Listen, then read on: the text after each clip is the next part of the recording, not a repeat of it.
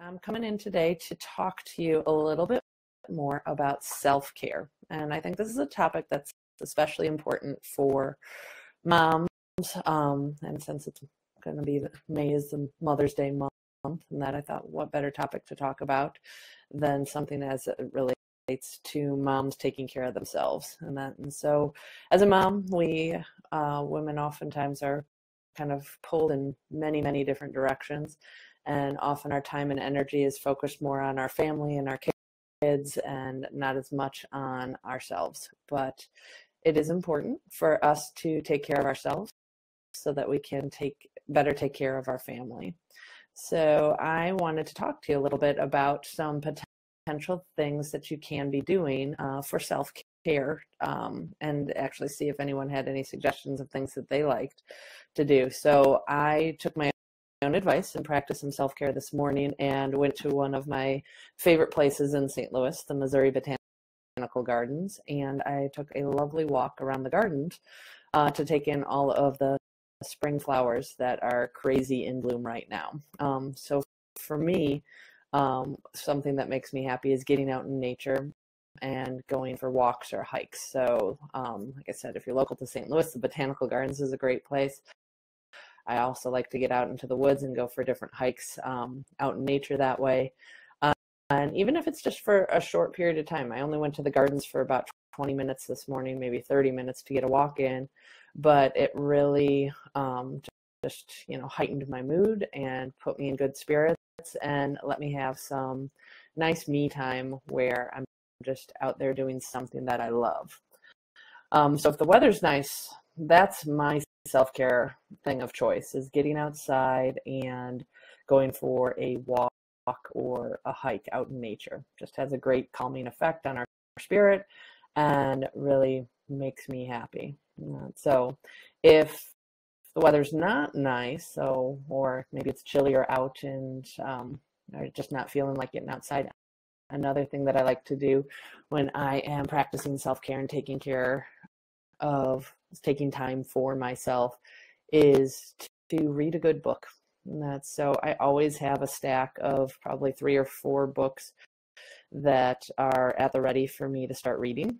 Um, my trouble is that once I usually get into a book, I keep reading it until I'm done with it if I like it. So unfortunately, that one could uh, keep me going for quite a while if it's a really good book. So if anyone has any suggestions of good books that I should read, um, I'm open to it.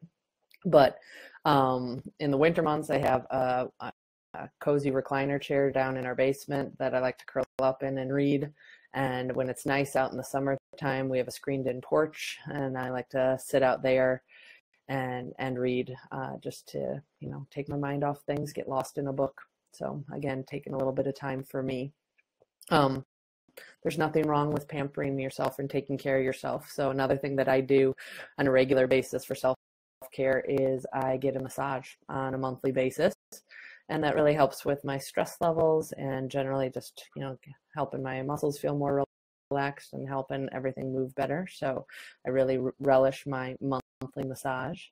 And then um, another option that I do, um, maybe not as regularly as that, but is that I go get a manicure or a pedicure, um, you know, maybe every other month or so, just to keep things looking fresh, you know, help my nails be healthy and help everything look pretty, you know, have a little bit of color, have a little bit uh, of style going on. And, you know, it can really help your mood if you kind of, you know, put some time and effort into kind of how you're, you're looking and dressing for the day, especially if you're blah, you know, you actually put on a nice outfit and that it can really help your mood that way. So, so those are just a few uh, tips, you know, suggestions those are things that work well for me but um, other people might like other other things. So i have friends who really love to practice yoga or um, love going to their pilates class or love going to um, their boot camp type class. So it's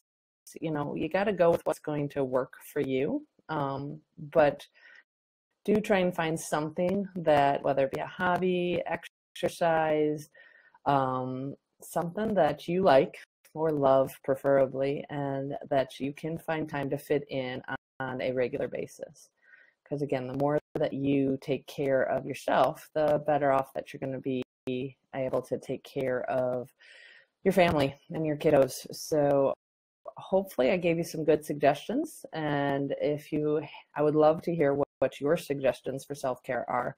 So um, I'm always open to new ideas and things to try.